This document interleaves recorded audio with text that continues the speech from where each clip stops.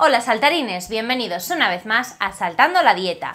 Hoy vamos a hacer una receta que gusta a casi todo el mundo y que es mucho más saludable hacerla en casa que comprarla en bolsas, que es como se venden, que son unas patatas chips, las míticas patatitas fritas que solemos comprar en bolsa, pero las vamos a hacer caseras. Ya veréis cómo son rápidas, fáciles y quedan buenísimas. Así que si te gusta la idea, quédate a ver el vídeo que enseguida empezamos con los ingredientes. Pero antes recordarte que puedes seguirme en mis redes sociales, que las tienes abajo en la cajita de información sobre todo en, Instagram, que es saltando barra baja la dieta, porque por ahí serás el primero en enterarte de qué receta voy a subir, además también subo a veces recetas a las fotos y a las historias, y hago unboxing de cosas que me llegan y también sorteos. También recordarte que tengo un canal personal que se llama Sandra Yugueros, en el que encontrarás vídeos de muchas temáticas distintas. Y ahora sí, empezamos ya con los ingredientes. Los ingredientes que necesitaremos son patatas lavadas y peladas, que la cantidad depende de la cantidad de chips que queráis hacer, aceite de oliva y sal.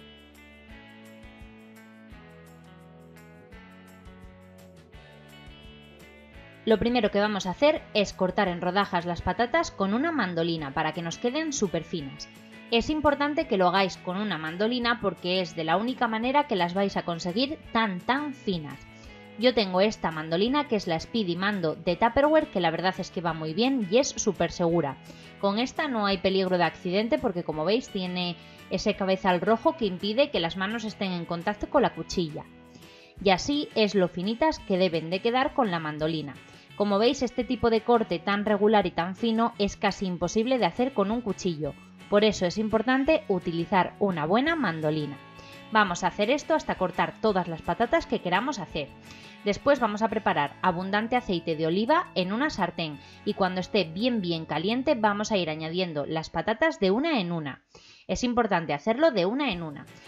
Estas van a tardar muy pocos minutos en estar fritas, pero más o menos a mitad de la fritura las vamos a ir moviendo para que se empapen bien en el aceite y si hace falta les dais la vuelta.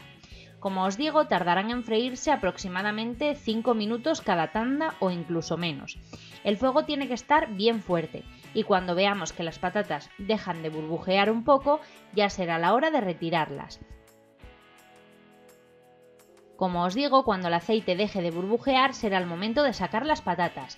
Cogemos una espumadera y eliminamos el exceso de aceite y después las vamos a pasar a un plato que tendremos preparado con papel absorbente para eliminar el resto del aceite.